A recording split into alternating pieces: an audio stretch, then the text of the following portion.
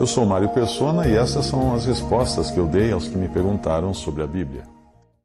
Agora vem uma, uma outra no versículo 19, 1 Tessalonicenses 5,19, que tem a ver com o relacionamento que nós temos com nossos irmãos.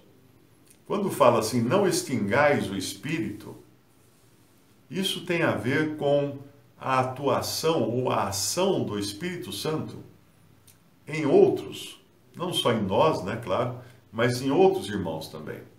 Então, às vezes, tem um irmão lá com uma, uma vontade muito grande de evangelizar, de sair pregando o evangelho, aí você chega e fala assim, irmão, faz isso não, rapaz, não adianta, não perca seu tempo, não é assim, então.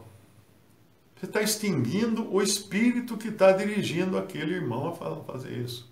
Ou desanimar um irmão mais novo que trouxe uma palavra na reunião e você cair de sarrafo em cima dele depois da reunião, porque ele não falou exatamente os verbos corretos, a conjugação dos verbos não foram corretas. Tal. O que, que é isso? O que, que é isso? Isso é extinguir o espírito. Isso é colocar barreira para a livre ação do Espírito Santo usando quem ele quer. Quem ele quer, porque ele vai escolher quem ele quer usar nas reuniões ou no dia a dia, ele vai escolher. Então, não extinguiu o espírito e não desprezeis as profecias, no versículo 20 de 1 Tessalonicenses 5, não desprezeis as profecias. O que é isso quer dizer? Profetizar é falar da parte de Deus. Eu estou profetizando agora. Profetizar não é necessariamente falar o futuro, né? prever o futuro, mas é falar da parte de Deus. Eu estou profetizando porque eu estou falando do que está na Bíblia, que é a palavra de Deus. Então, não desprezar as profecias. Então, o irmão traz uma palavra, você pode não gostar, talvez, na hora, ou ele talvez não seja a pessoa mais preparada para falar aquela palavra. Não desprezeis as profecias. O Senhor pode querer falar alguma coisa com você, através daquele irmão. Eu me, eu, eu me lembro de dois episódios, na minha vida que eu estava muito baixo lá, na, tudo tinha dado errado.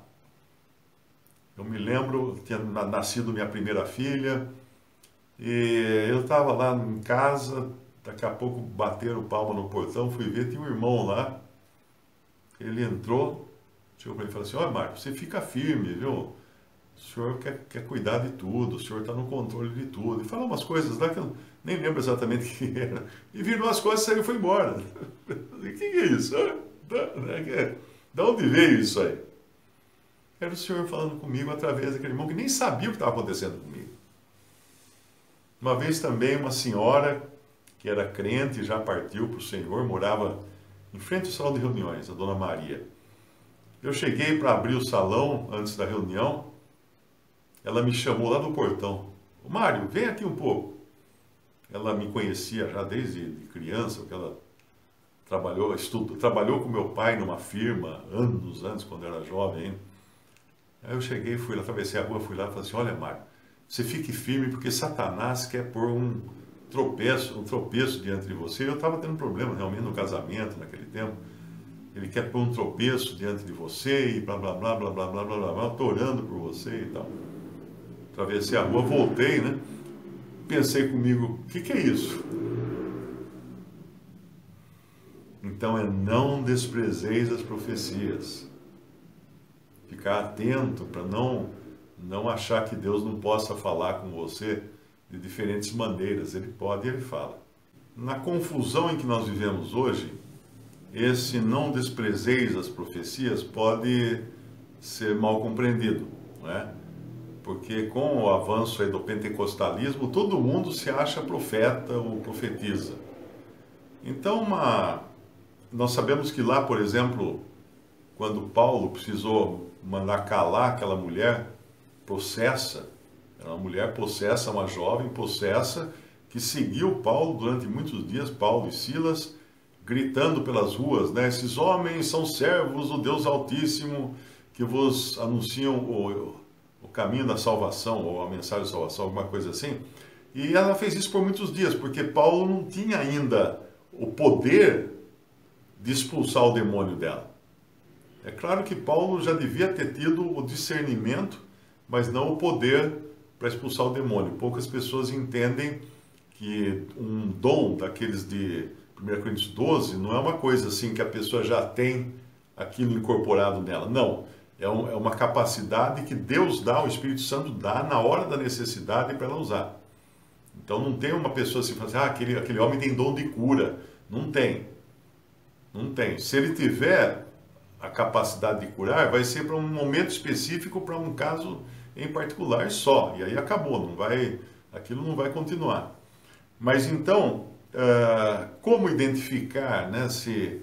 Uh, hoje tá, é, fica até fácil, porque se a pessoa vier e falar assim, o Espírito Santo me revelou, pronto, aí já pode parar pode parar. Já fizeram muito isso comigo. Uma vez eu estava numa palestra, uma palestra num curso que eu dei numa empresa, e, e durante o, o, curso, eram dois dias de curso, e depois do primeiro dia, na, na hora do almoço, eu estava almoçando com o presidente da empresa, ele falou assim, Mário, não sei o que eu faço, tem um rapaz aí, ele, o apelido dele é pastor, porque ele é, ele é crente e ele, ele reúne uns, alguns funcionários em volta dele, lá ficam com a Bíblia, mas ele coloca os funcionários contra mim.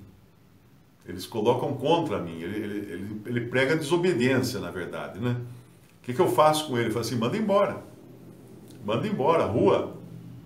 Rua, porque se ele realmente é um cristão, ele sabe que o, o trabalhador, o operário, ele deve obedecer o seu patrão e não criar um motim, criar confusão, né? E ele me, me, avisou desse cara no primeiro dia. No, no último dia eu terminei, era um curso de vendas, terminei o curso, a sala esvaziou, né, todo mundo foi embora tal. Eu fiquei arrumando minhas coisas, pegando lá meu notebook, fechando tal. Eu vi que ele continuava sentado lá, esse, esse suposto pastor. E ele era de uma religião pentecostal da Coreia, de um pastor que mudou nome, chamava sei como é que ele chamava, mudou o nome para outra coisa. Não, não sei se era Davi e mudou para outro nome. Bom, uh, ele tem uma revelação, uma caverna, a história é mais ou menos essa. Ele seguia esse, esse pregador coreano, que tem milhões de pessoas que seguem ele. Mas a hora que, ele, que eu vi, ele levantou e veio na minha direção e falou assim: eu, eu, O Espírito Santo está me dizendo que você ficou dois dias nessa sala, em nenhum momento você pregou evangelho para essas pessoas. Eu falei assim, oh, amigo, pode parar, porque o Espírito Santo não está dizendo nada para você. E eu vim aqui para dar um curso de vendas, e eu tinha o compromisso com a empresa para quem eu vendi o curso de vendas, o horário que eu estou aqui pertence ao, ao meu cliente. Eu não posso usar esse horário para outra finalidade. Seria desleal, seria desonesto para com o meu cliente. E não vem com essa história não de que o Espírito Santo mandou dizer, porque não é assim que funciona não. Isso é truque de pentecostal para impedir a pessoa de retrucar. Para impedir a pessoa de ai, então não posso nem falar, não posso nem duvidar, porque se foi o Espírito Santo que mandou ele avisar, foi nada conversa mole. Então, quando já, depois disso, outras pessoas vieram também com essa conversa, eu, eu, eu paro logo, falei, pode parar, eu falo, para, pode parar, não tem essa não. O que, que a pessoa pensa? Que tem um, uma linha de, de, alta, de alta performance direta com o céu, recebe mensagens direto do céu? Não é assim que funciona. Então, se a pessoa chegar falando assim, olha, o Senhor mandou dizer para você, Pode parar. Pode parar. Pode parar que é conversa de, de pentecostal querendo assustar você e impedir que você duvide. Como é que você vai duvidar de uma mensagem vinda diretamente do Senhor? Você não pode duvidar. Então, não deixa te pegarem nesse truque, não. Isso aí é, é muito usado no pentecostalismo. Então, é uma questão de, de ter discernimento. Quem é a pessoa que veio falar, né? Uh, e às vezes a pessoa vem falar e fala umas coisas certas. Às vezes ele sabe até da sua vida coisas que você não imaginaria que ele soubesse. Agora, cuidado porque os espíritas conseguem fazer isso também com influência de demônios.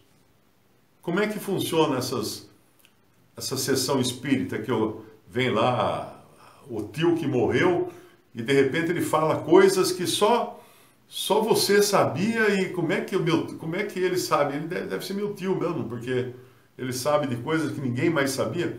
Claro, porque os demônios conhecem bem o ambiente, conhecem você. Então, os demônios eles conseguem ter informações privilegiadas para enganar. Para enganar. Por isso que sempre que tem alguém que morre rico, né, um rico que morre, tipo um filho de uma família rica, morre no acidente e tal, ah, no dia seguinte já chega uma carta. Chega uma carta de um médium, né, dizendo que recebeu uma mensagem psicografada do além. Aí o fulano também chegou bem lá, não teve, não teve mau tempo na viagem, passou na alfândega sem ser barrado, porque não levou nenhuma, não levou nenhuma mala, né? Passou sem ser barrado, e ele manda dizer que está tudo bem, que aquele, sei lá, aquela, aquela camisa amarela que está no guarda-roupa, é, para dar para o Zezinho. Daí, de repente, a família fala assim: Nossa, como é que ele sabia? Como é que o médium sabe da camisa amarela? Porque o demônio visita o quarto do, do morto e sabe de todo o guarda-roupa dele. Então, não se iluda. Não se deixe levar por esses que vêm com mensagens escabrosas, que parecem. Não. Quando Deus fala, realmente, né? Naqueles dois casos que eu mencionei, né, de um irmão e depois daquela senhora, irmã em Cristo também, eles não sabiam nada da minha vida, assim, em particular, e foi uma coisa completamente espontânea. Os dois me conheciam, mas não tanto, né?